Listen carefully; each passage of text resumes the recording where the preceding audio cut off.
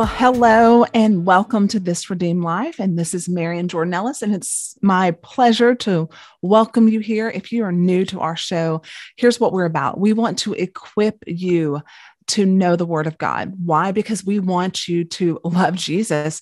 And most of all, I want to help you uh, as we explore the word of God to live for God's glory. And we do that by really digging in verse by verse into scripture.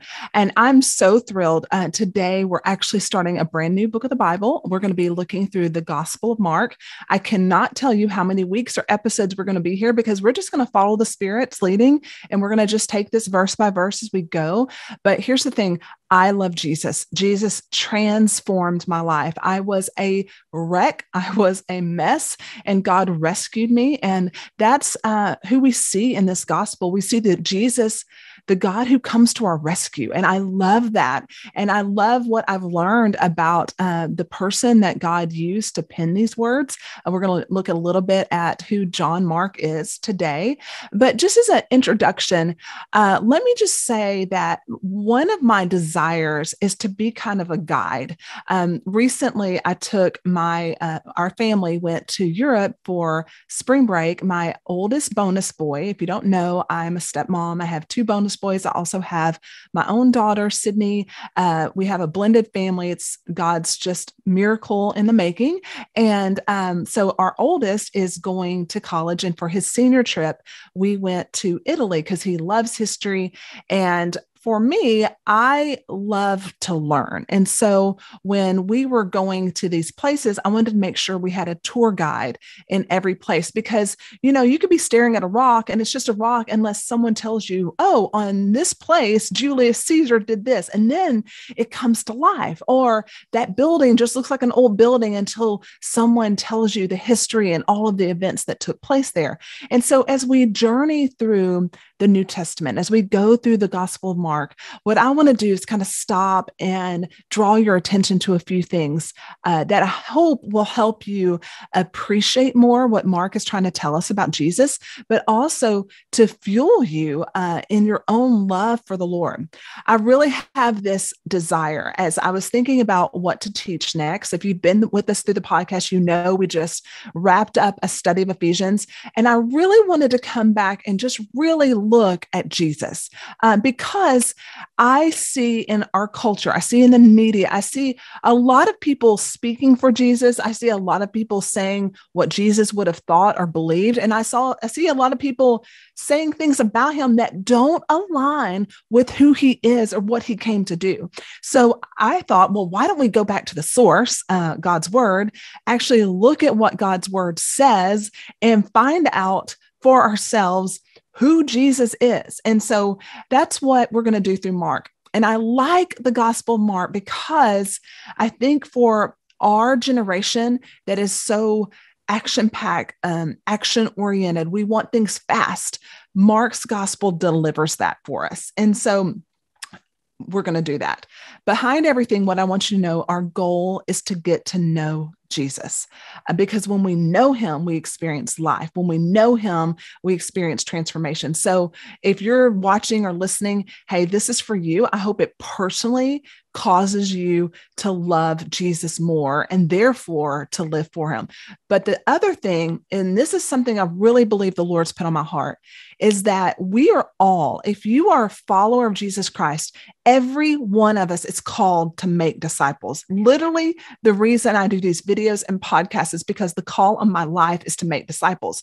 But what I would love to see happen is that you are using this content to disciple others, that you would be listening or watching, if you're watching on YouTube or listening on podcasts, that you would take this, bring someone along with you, have coffee, listen, and get to know Jesus together. And that this would be a way that when your friends or family members or coworkers want to know, hey, why are you a Christian? You know, that doesn't seem very cool that you have the language and the words to tell them how amazing Jesus is and exactly who he is and what he came to do and how he's such a revolutionary and that this is God coming to our rescue and that you would have the language and the words to be able to make disciples yourself. And so a lot of what I'm going to convey is hopefully helping you have really Christ centered, gospel centered conversations so that you can do the call in your life, which is to make disciples. Um, so let's dive in. Today, we're going to be in Mark chapter 1, verse 1. We're doing one verse today, people. Get, get excited. And it says, The beginning of the gospel of Jesus Christ, the Son of God. So there's several things here we're going to look at. First of all, the beginning. So he's starting right here of the gospel of Jesus Christ, the Son of God. So I'm going to start by looking at the word gospel and really make sure we all understand what that means. But then let's look, he gives a title. He gives his name. Who we're talking about is Jesus Christ. So Jesus is his name. Christ is a title. It means the Messiah, the anointed one, the expected one. And then he goes on to say, the Son of God. Let's not beat around the bush. Jesus is God. And the the gospel that we're going to be talking about is that God is here and he's on a rescue mission. So, what is that word gospel? So, that is pretty significant to even our study of Mark. Um, so, the word gospel, it means or translates to us as the word good news. Now, this is a Roman term. And in that day and age, 2,000 years ago, uh, the the Rome, the Empire of Rome ruled the world, and they did that by conquering territories, and they would conquer these different areas. And at that time, what they would do is they would send these proclaimers, these evangelists into this new area. They called them evangelists, and they would say, Hey, you have been set free. You have been, your area has been won, and we are announcing good news to you. Okay. So it was called the gospel because it was good news that they were sending out. Well, when Matthew, Mark, Luke, John, when they began to uh, explain who Jesus is and what he had done and declare it to the world. They called it the gospel because that's what it is that God has come to rescue us. And this is the best news of all time. And so, why did Mark need to write this gospel? Because so when Jesus lived, he lived fully human on earth as our representative. He died a death that we should have died for sin, sin is cosmic rebellion against God. Jesus took that for us, but he didn't just die. The cross was not the end. The resurrection happened.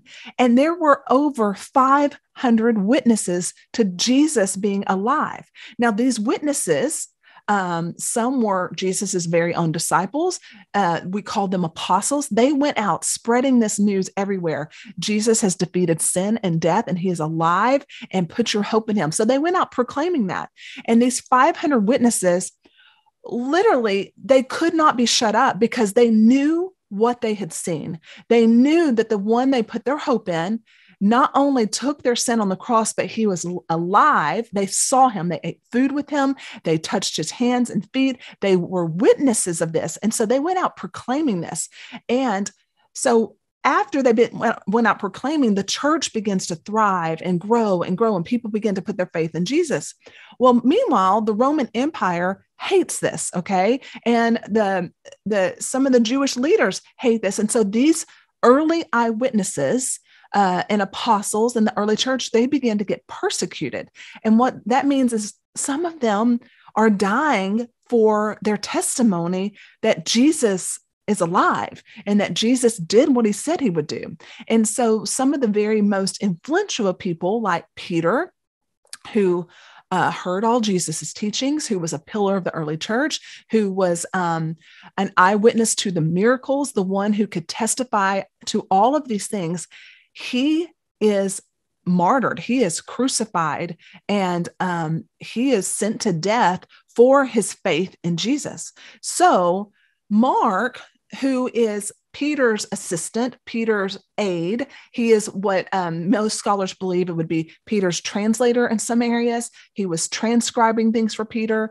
He wants to put down everything that Peter taught about Jesus, everything Peter uh, conveyed in his sermons and his preachings about Jesus, he puts those down on paper. Okay. So the Holy Spirit uses this person, Mark, who we're going to talk about more in just a minute, to capture all of Peter's eyewitness accounts of who Jesus is and what he did and what he taught and how he's alive, he uses this young man named Mark to put that on paper so that you and I today, 2000 plus years later, can know Jesus and can follow Jesus and can love Jesus and be transformed by Jesus.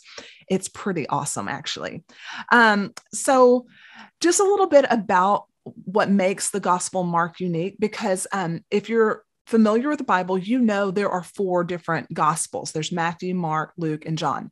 And each one of those talk about Jesus from a different perspective.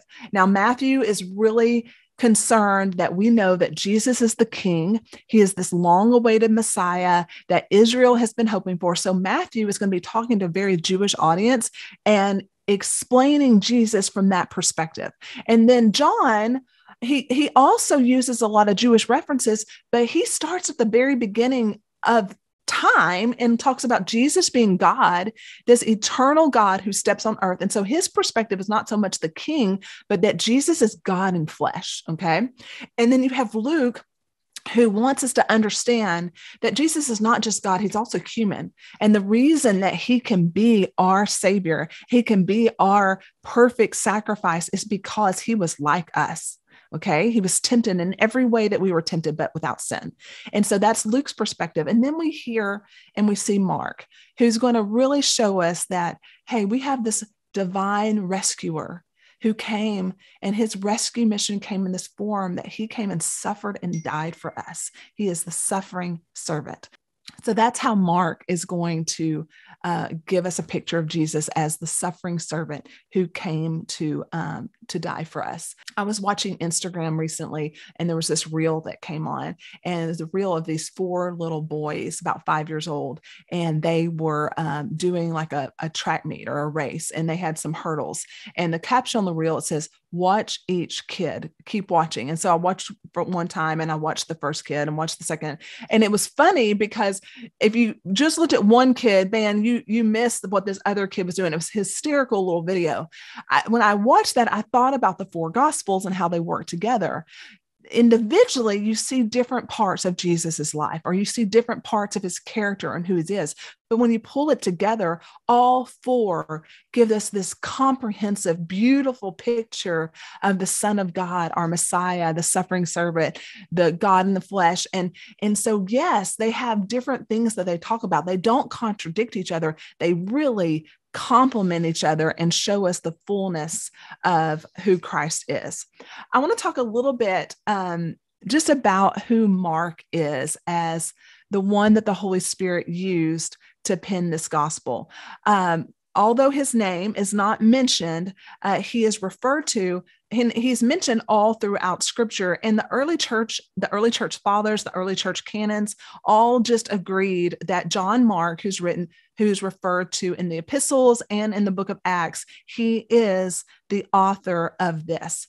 Now as i mentioned john mark we're going to call him mark from now on he based his writings on peter's eyewitness testimony and Peter being an apostle and Peter being not only one of the 12 disciples but part of Jesus's inner circle. He's one of the 3 and so Jesus pulled Peter into his confidence uh, he was there in the Garden of Gethsemane. He was there on the Mount of Transfiguration. So Peter shares with us so many things that only Peter and James and John were privy to. And so capturing his eyewitness account is so important. And that's why I believe the Holy Spirit used Mark to capture this for us so that we can have this up close and personal uh, look at who Christ is.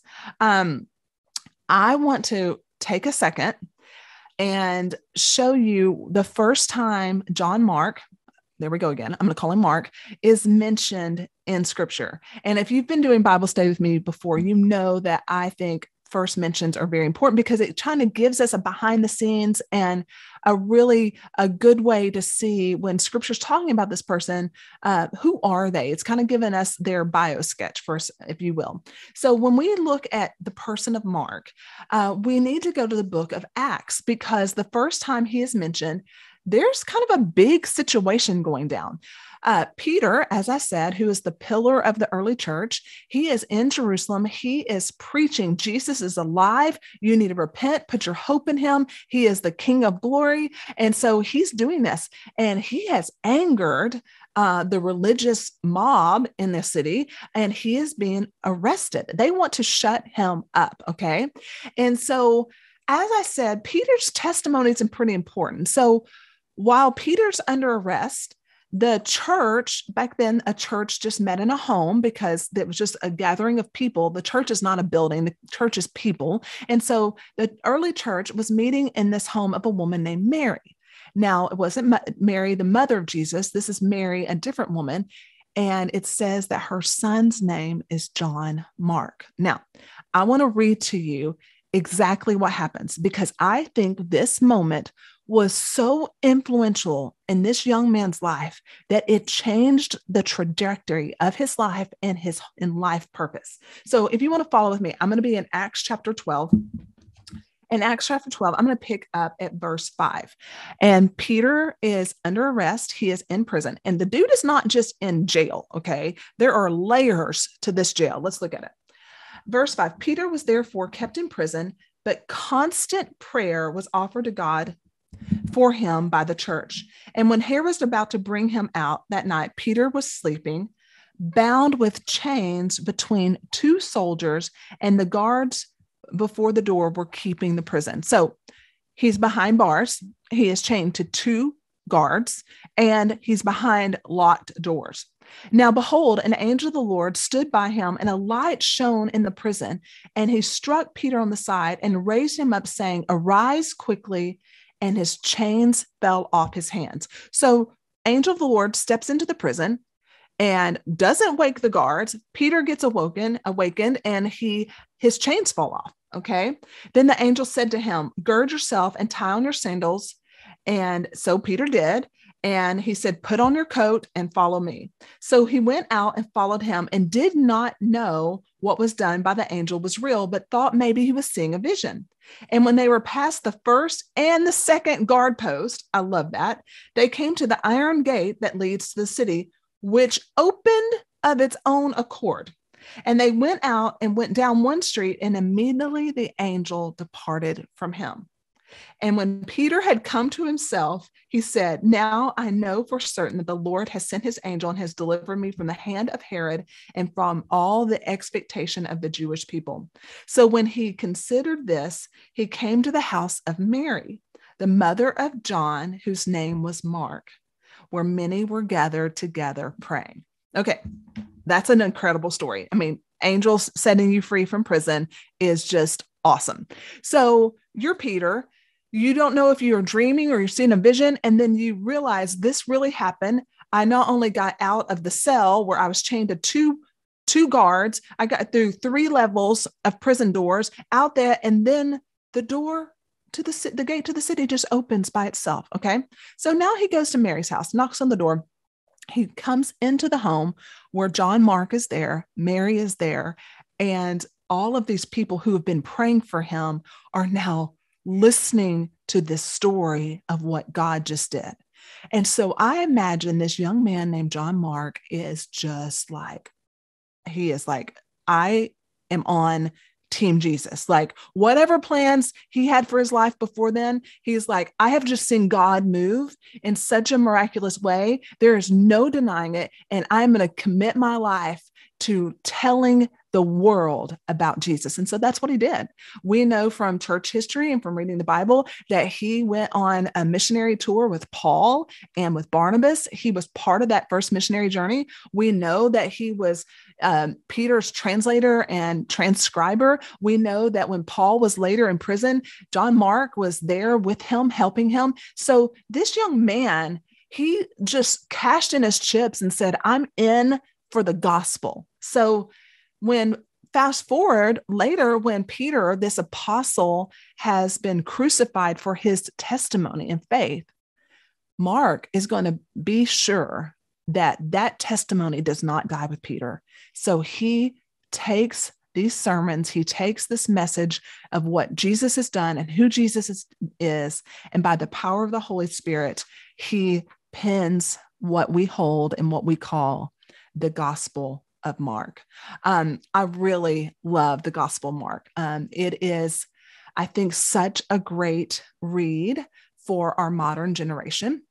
I believe it conveys the power of Jesus, uh, the person of Jesus, uh, the the need for Jesus, and just then what he accomplished. And so, if you want to get down to the point with people, or and show them, hey, this is who Jesus is, you're going to have these incredible snapshots, incredible pictures uh, of Christ in the Gospel of Mark. Um, one thing to keep in mind, as we talked about, every gospel has a different perspective. Mark is very much writing his gospel to people who are not of a Jewish background. And what I mean by that is, maybe they weren't expecting this Jewish Messiah. Maybe they weren't looking for uh, all the fulfillment of the signs in the Old Testament, like you would find in the Gospel of John. Um, and he's he's writing to people who are very much immersed in Roman culture, and so that's really good for you and I because we can come to it with kind of fresh eyes. If you're not super um, exposed and knowledgeable of the Old Testament, you could start in the Gospel of Mark and still have a great understanding of who Jesus is. Uh, Mark uses Roman time rather than Jewish time. What does that? What I mean by that? So when he's calculating maybe like the time of the crucifixion or certain events, he's going to be doing that from a Roman perspective. Okay, so some people would say, "Oh, the Gospels contradict themselves." They don't. John, for example, is going to be writing from a Jewish perspective. So he will be using Hebrew time and Hebrew language.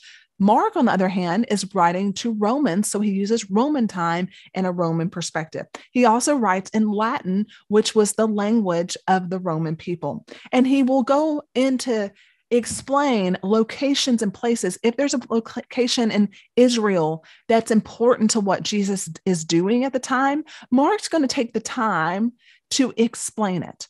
But also, um, what we see in the Gospel of Mark is that it's not filled with a ton of Old Testament references. I mean, we're going to look at in our next episode one or two that are pretty important, but for the most part, it's not just a ton of Old Testament that you need to understand to really be able to dig into the Gospel of Mark.